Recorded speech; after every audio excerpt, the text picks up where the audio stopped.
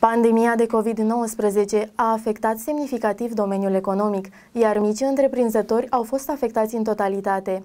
Municipiul Drobeta Turnu Severin a fost carantinat, iar în urma acestei decizii, patronii afacerilor care s-au închis au rămas fără singura sursă de venit.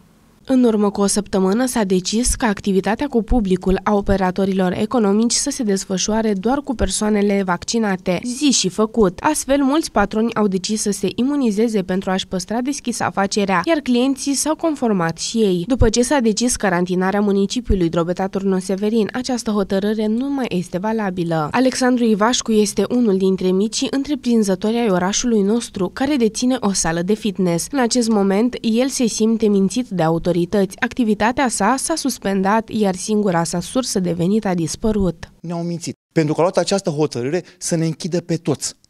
Vă dați seama, suntem patru sări în oraș.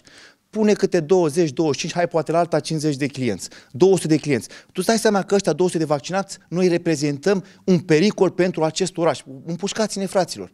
Vă dați seama cât de mare pericol reprezentăm noi încât a trebuit să, să, să închidă sălile. Alexandru Ivașcu și-a pierdut majoritatea clienților din cauza măsurilor impuse de autorități. Acum 13 zile s-a dat o hotărâre de guvern, 76, în 30 a 9 2021, în care s-a hotărât în, acea, în acel ordin ca activitățile din uh, sălile de fitness, din restaurante, terase, să nu se mai închidă, să-și desfășoare, dar cu condiția care să fie Ă, primiți în aceste unități doar persoanele vaccinate, deci măcar cu test.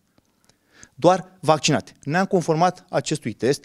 Din 110-15 clienți cât aveam, am mai rămas decât cu vreo 20. Ideea care este? Că după primele zile, foarte mulți clienți, să zicem în cam vreo 10, mi-au trimis adeverință, ales, am început să ne vaccinăm ca să venim la sală. Și tu te-ai vaccinat la rândul Eu m-am vaccinat mai înainte pentru că știam că se va ajunge la această chestie și am zis, haide să ne întoarcem la normalitate. Nu neapărat pentru sănătate. Sănătatea ți-o faci, hai să fim serioși, te poți îmbolnăvi de orice.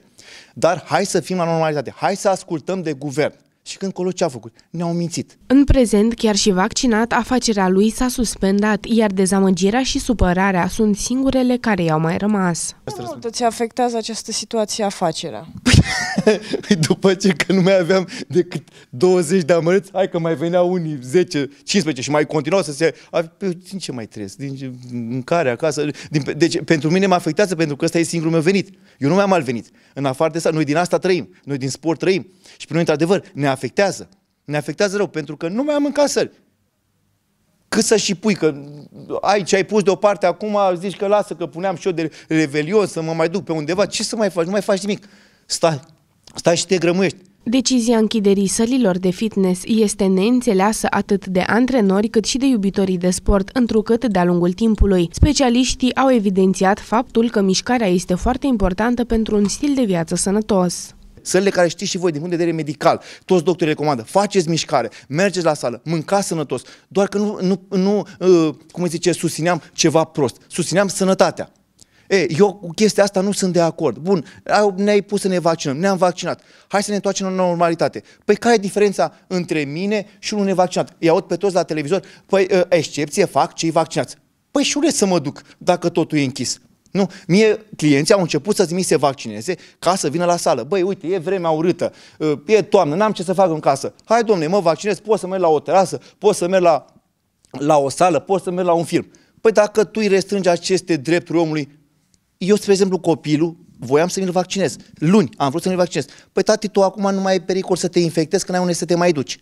Și ca mine fac pariu că mulți gândesc la fel. Păi la ce să mă mai duc să mă vaccinez dacă n-am unde să plec? Timp de 14 zile, municipiul Drobeta Turnu Severin este în carantină, ceea ce înseamnă că este interzisă activitatea cu publicul, operatorilor economici, cursurile școlare se vor desfășura doar în sistem online, iar organizarea de evenimente private este interzisă. De asemenea, s-a instituit obligativitatea purtării măștii de protecție în toate spațiile publice deschise.